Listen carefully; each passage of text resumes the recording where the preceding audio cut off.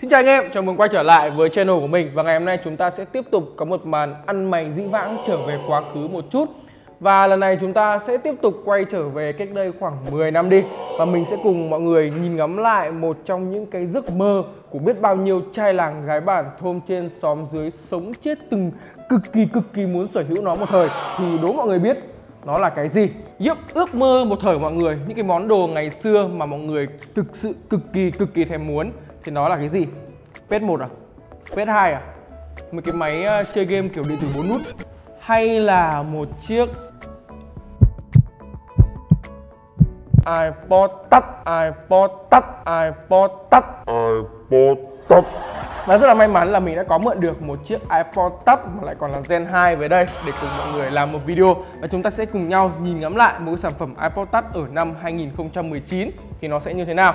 Và fun fact một chút ấy, đấy là ngày xưa mình đã từng chết mê chết mệt cái iPod này nó kiểu như là một cái biểu tượng một thời ấy. Và mình vẫn nhớ cái cảnh là mình đã từng kiểu này nỉ xin bằng được bố mẹ mình mua cho một con.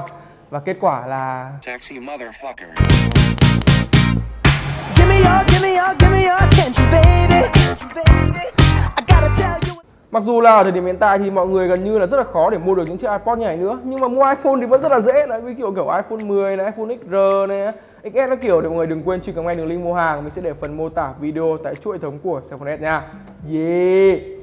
Rồi và đây là chiếc iPod Touch thế hệ thứ hai của chúng ta Một cái chiếc iPod Touch được ra mắt từ năm 2008 Và thực sự mà nói thì đây cũng có thể coi là một phần kiểu thanh xuân tuổi trẻ của mình Khi mà nhìn lại, ui tự nhiên nhớ ngày xưa vãi và mình nghĩ là cũng rất là nhiều anh em xem video của mình cũng sẽ có cảm giác như vậy rằng đây từng là một trong những cái biểu tượng của giới trẻ một thời. Ngày xưa chúng ta đã có những cái gì? Chúng ta có CD Walkman này chúng ta có iPod Nano, iPod Shuffle, iPod Classic các kiểu. Và iPod Touch cũng từng là một trong những cái series dòng sản phẩm siêu siêu hot và siêu siêu thành công của Apple. Và việc nhìn ngắm lại một sản phẩm từ 10 năm trước như thế này nó đem đến cho mình khá là nhiều những cái cảm giác khác nhau. Thứ nhất là chúng ta nhìn ngắm lại một trong những cái nó gọi là ước mơ một thời chúng ta thì bây giờ nhìn lại nó như thế nào? Cái thứ hai là chúng ta cũng sẽ nhìn được là công nghệ nó đã phát triển vượt bậc sau khoảng tầm 10 năm thì nó đã trở nên như thế nào rồi. Đầu tiên thì um, nhìn sâu qua một chút về mặt thiết kế của chiếc iPod Touch Gen 2 này. Đó thì đây là một cái chiếc iPod Touch ra mắt mình nhớ không nhầm là cùng thời với cả iPhone 3G thì chúng ta sẽ có một cái thiết kế y nguyên khối kim loại này. Ui cái iPod này mình mượn thì nó đã qua thời gian, nó đã bị sức băm sức bổ, nó cũng bị móp như kiểu rồi. Nhưng tận 10 năm trước mà chúng ta vẫn có một cái thiết kế theo kiểu kim loại sáng bóng inox như thế này, nhìn giống hệt một cái nồi lẩu của nhà mình luôn, trông cực kỳ đã. Đó.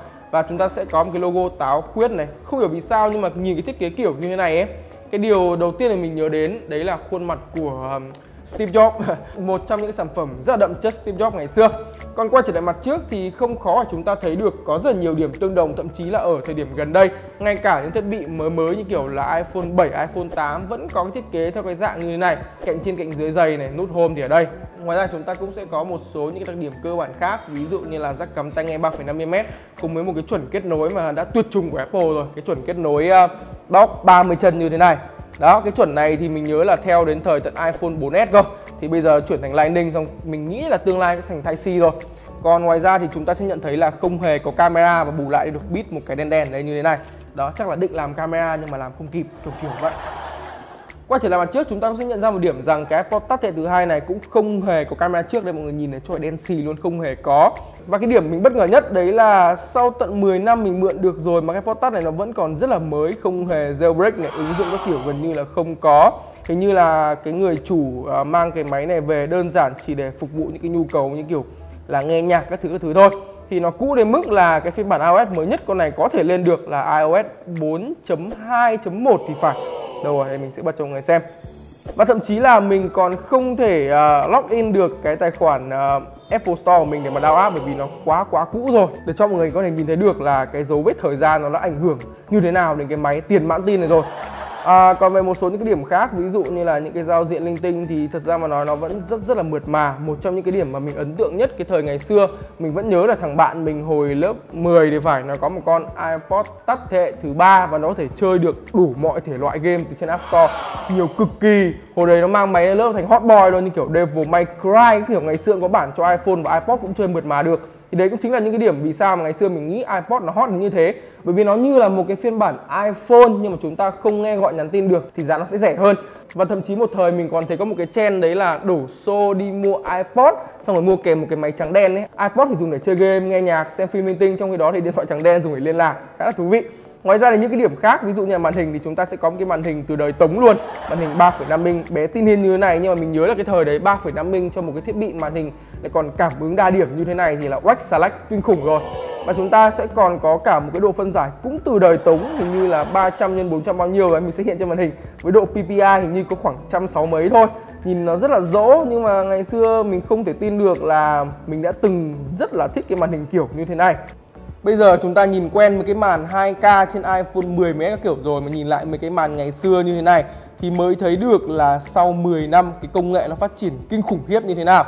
Còn về iOS cũ thì nó sẽ có những cái gì thú vị. Đây là phiên bản iOS 4 chấm này.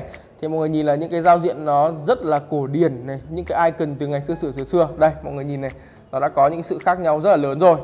Ngoài ra thì iPod Touch Gen 2 nó còn không hề có cái trình đa nhiệm. Đây mọi người nhìn này, lỗi mình bấm mãi nó trả ra vì đơn giản nó không có Mà mãi đến tận cái đời sau là iPhone 3GS với cái iPod Touch Gen 3 thì nó mới có. Bây giờ chúng ta sẽ thử những cái thao tác cơ bản Ví dụ như kiểu là lướt web xem YouTube trên cái máy này xem sao. À, Giao diện YouTube này vẫn là giao diện YouTube ngày xưa mà Apple tự làm chứ chưa phải là ứng dụng YouTube như bây giờ. Đấy, mặc dù nó kết nối được uh, wifi nhưng không vào được YouTube này. Tôi sẽ thử lướt web với Safari xem sao. Ví dụ như ở đây thì mình sẽ vào trang gọi là youtube.com coi. Đó, mọi người có thể thấy là nó rất là chậm bởi vì đây là một cấu hình của từ 10 năm về trước rồi. Chúng ta sẽ chỉ có một con chip đơn nhân thôi với xung nhịp nó thấp cực kỳ.